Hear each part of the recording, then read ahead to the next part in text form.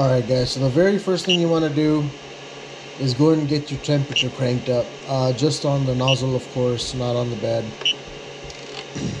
I would recommend that you get it to somewhere around 220 or 225. You want it a little bit hotter than normal. Okay, uh, and I'll explain to you why in a minute. So once this temperature gets up to where I want it, we'll go and start removing the nozzle. Alright guys, as a safety precaution, please, please, please do not touch the nozzle with your bare hands, whatever you do, because it is super hot right now, and you're probably going to end up uh, scorching your fingers if you do so. So the first thing you want to do is get the tools ready necessary to take this down. You can either use the wrench that came with it, which was supplied, but if you already have an aftermarket nozzle on there, then there's a chance that you might need one that you have laying around your house. Okay, so once you get that, the next thing you're gonna need, okay, the next thing you're gonna need is something for the nozzle to drop into. Uh, because you do not want to touch it. Something metal or heavy glass will do. This is just the dust cover that I printed um, for the CR10. So I'm just to use that because I'm pretty sure the nozzle is not to melt this. Okay, so what you want to do is go ahead and just take your wrench right there. Remember, turn it to the right to make it tight. Turn it to the left to loosen it up. As you can see, it's turning pretty easy. Not having any issues with it whatsoever. So I'm just gonna keep going. And it looks like it's done.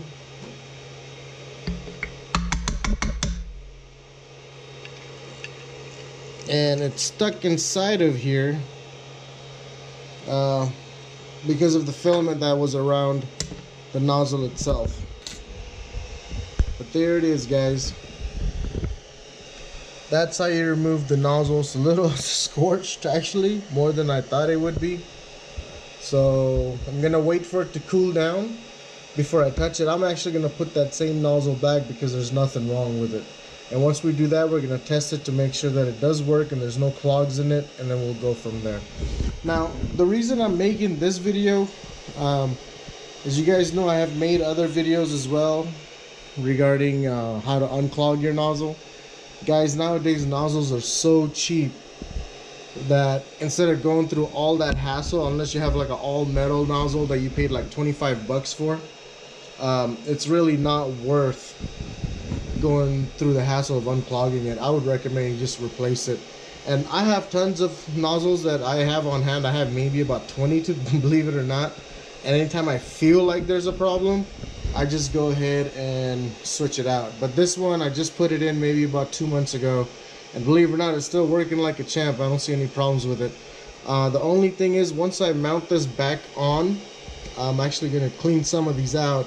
And you can use it uh, using honestly, I just use my wife's nail polish remover. I just throw it in there, shake it up, and everything comes right off. So uh, once we get that going, we will see if it's okay. It's a little bit cooler, but this is what I was talking about right here.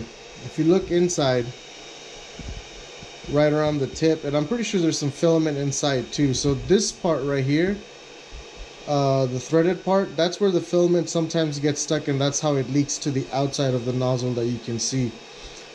So if this was hard like it is right now and cool down and I tried to remove this, guess what? I would probably either break the nozzle or mess up the threading inside there. So it's a good thing that I took it out while it was hot. Okay, so let's go and reinstall this and see how it works. Alright guys, so here it is, same nozzle right here. You can actually use your hand here because the nozzle is not hot and what I'm to do is put that in there and try to get the first couple of grooves put in. There it is. Now I'm gonna, as I'm doing this, the nozzle's heating up, keep in mind. So I'm just gonna hand tight it until I feel it a little bit warm. And Jesus, that thing heats up fast. So once I have that in there, I'm just to take my wrench here and just turn it. I feel it getting tight already. So I'm just to give it a little bit more. And there it is. Now all the residue that you saw on the nozzle itself, uh, I'm actually going to take that off now. You can take any pliers that you have. I usually just use these. Once the nozzle is hot enough,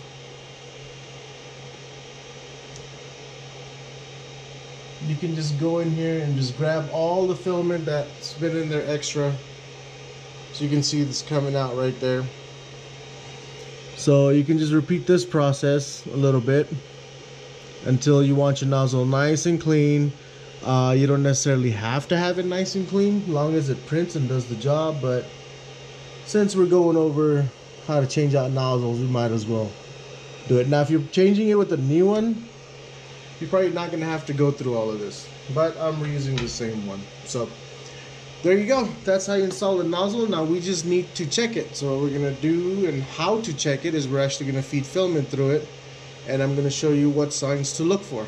Alright guys, so I've fed my filament through. The nozzle is still hot. Uh, what we're checking for here is once we feed the filament through, we want to get an even straight stream coming down. We don't want any curling or going back touching the nozzle. Now keep in mind those are very minor clogs, okay? You get that throughout so many times you probably don't even realize it because you're not sitting there monitoring your prints. So when the nozzle actually or the filament comes through the nozzle, uh, filament gets stuck in there and it slowly pushes out what it has. Um, throughout your printing lifetime, you'll probably get over, I don't know, over 500 clogs, and this is over a period of maybe like four or five years. But these are very minor partial clogs, so they get clogged in here, and as they as filament keeps getting pushed in, it clears itself out. So what we're, we're looking for is an even stream, or sometimes you'll notice when you push your filament through, it curls uh, that's a partial clog, very, very minor partial clog. So let's go ahead and see, make sure we get a steady stream coming out. I'm gonna go ahead and uh, push the filament through. Okay. That's good. That's exactly what we're looking for right there, guys.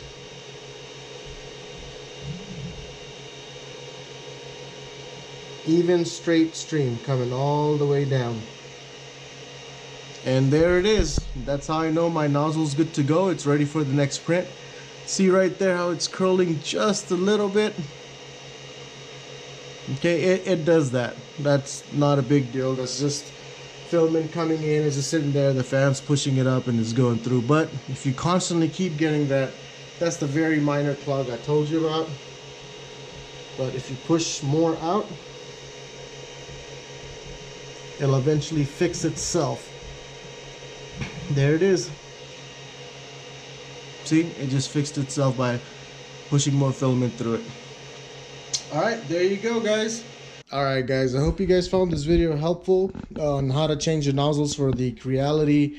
Basically any creality uh, creality line you have whether it be the cr10 the cr10s or even if you're using the ender here okay? Uh, they're all basically the same type uh, very easy to change out. So I hope you guys enjoyed this video. If uh, you have any questions comments go ahead and please leave it down below. If you like to see more new content go and subscribe to the channel. And like always guys good luck and happy printing